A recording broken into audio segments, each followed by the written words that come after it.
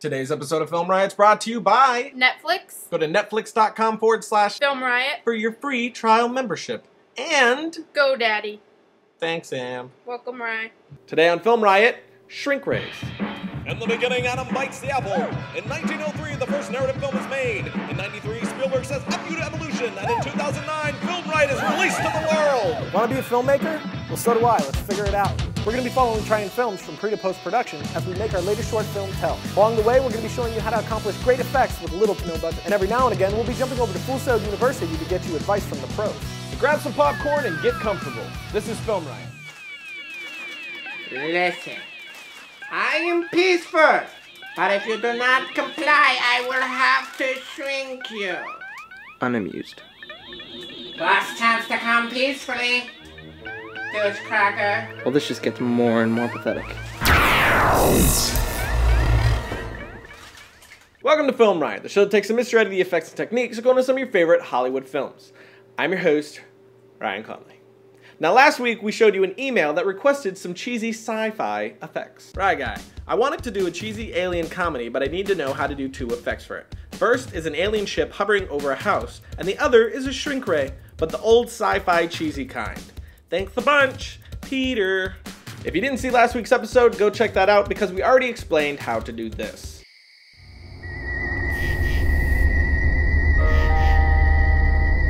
So now I'm going to show you how to do this. This just gets more and more pathetic.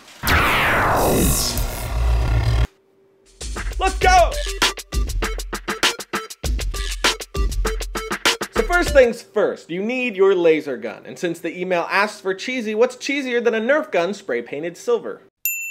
Now that you have that set, the next thing you want to do is actually add the laser coming out of the gun. So to do that, the first thing you do is motion track the point where the laser is going to come out and attach that data to a null. To learn how to do that exactly, check out this episode.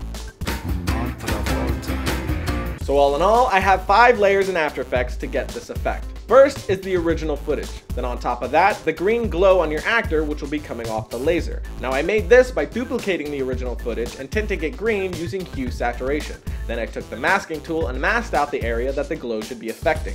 Then I just feathered and dropped the opacity to 25%. If your actor is moving around, you're going to need to keyframe the mask for it to stay on top of him, so keep that in mind while you're shooting. The next layer is the green glow at the end of our gun's barrel. To create this, I added a new green solid, then grabbed the pen tool and masked around our gun's barrel. Now, if your gun barrel is circular like ours, you can always make it a little easier by using the ellipse tool. Once you have the mask set, feather it and change the blending mode to soft light, and you have your barrel glow. The next layer up is sort of a haze that the laser's emitting for a little extra atmosphere, but I'll get to how to do that in just a second. The final and top layer is the actual beam. Now to create this, make a new solid and then add particular, which doesn't come with After Effects, but it's a really good investment. But you could also pull this off to a similar effect with Particle Playground, which does come with After Effects. So add particular to your solid layer, then go to your effects panel, and the first place we're gonna start is with the emitter drop-down arrow. The first thing you're gonna see is particles slash seconds. So now in your timeline, go to the point to where you want the laser to actually start coming out of the gun, then click the stopwatch next to particles per second and set it to zero. Now move forward a few frames and set it to 850. Now go to the frame right before you want the laser to stop and set a keyframe. Then go a few more frames and set it back to zero. This will start and stop your laser. Below that is emitter type. Set that to box, then set direction to directional and set direction spread to 4. Next are the X, Y, and Z rotations. You'll have to mess around with these on your own to get the angle you need. Next down is velocity, which I have set to 570. Then below that, you have the X, Y, and Z emitter size. Now again, you're gonna have to mess with these on your own to get the proper settings because it's gonna depend on how far the gun is from your camera. Next is the particle drop down arrow. For life, which is how long each particle will last on screen, set it to 6.1. Then for particle type, set it to glow sphere, no DOF. Then set sphere feather to 50 and size to 2.0. Then set the color to over life and ramp different shades of green. I also added a little cyan in the middle to mix it up. You know. It's a General Electric blender that's going around. Completely new from base to lid. Take it apart, see what they did. The non-skid base is the lowest you'll ever see. The decanter has a 36 ounce blending capacity. The last thing to do in this plugin is go to physics and change the time factor to 4.6. Now add a CC vector blur and adjust its attributes till you get your desired look. Then add a glow. I sing you lullabies, I make your days bright. I bring you sweet dreams. I help you sleep tight. We're all your good night friends. I used a radius of 27 and a glow intensity of 2. Now turn on the motion blur for your project, and then turn it on for all your individual layers. Now to create the atmosphere, just duplicate the laser layer, change the directional spread to 20, add a Gaussian blur, and set that to 42. Finally parent all your solid layers to the null, make sure all the motion blurs are turned on, and... A cheesy shrinking laser beam. Next up, how to shrink a toy. But first, let my sponsor holla at you, boo.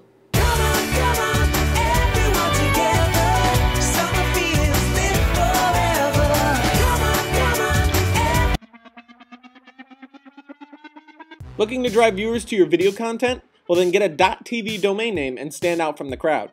.tv domain names are perfect for podcasters, video bloggers, anyone with something to say. And they're available now at GoDaddy.com. Also be sure to check out revision3.com forward slash GoDaddy for all the Film Riot GoDaddy deals and codes. Logo. Well, this just gets more and more pathetic. To shrink the toy, I had four layers in After Effects. The first one was my clean plate. First was the clean plate of my scene. Next, the reflection. Above that is the toy. And finally, a glowing layer. So first drop your clean plate into the timeline. Above that, the shot of your toy in frame. Now mask out the toy and set the anchor point to the bottom center of the toy. Now just go into your transform drop down and set a keyframe for scaling where you want the shrinking to start, then go to where you want it to stop and scale it down till it's the size you want. Then just set ease out for the first keyframe and ease in for the last. Now add a glow and keyframe the intensity up as the toy shrinks and back down right before it finishes shrinking. Now to create the reflection, duplicate the main toy layer, then rotate it around and flip it, and then put it below the main toy layer. Now pre-comp the reflection layer, mask around the areas that the reflection shouldn't show, and then drop the opacity to about 25%. For the final layer, once again duplicate the main toy layer, then delete the glow we added from before and add a new one. Musical glowworm, glowbug, and glow butterfly. Finally, make sure motion blur is turned on for your comp and that all your layers are set up for motion blur as well, and a little shrinkage occurs. Like when it's cold outside. Really? Really.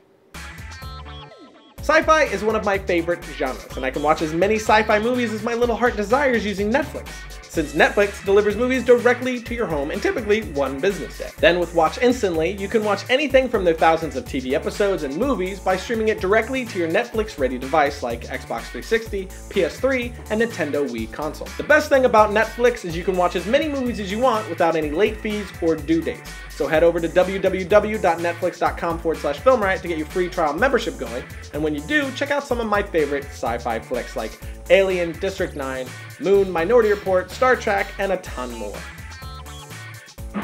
And that's it for this week. But don't forget you can follow me on Twitter at twitter.com forward slash Ryan underscore Connolly. And then there's the Facebook page where we do a lot of conversational sating.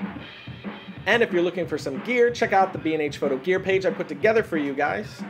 And I'll see you next Thursday when I jump into a pit of serpents, all wielding switchblades.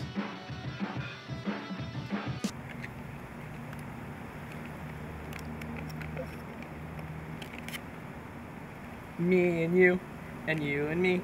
No matter how you toss the dice, it has to be. The only one for me is you, and you for me. So happy together.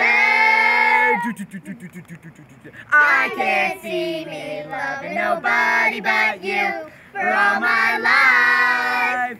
When you're with me, baby, the skies will be blue for all my life.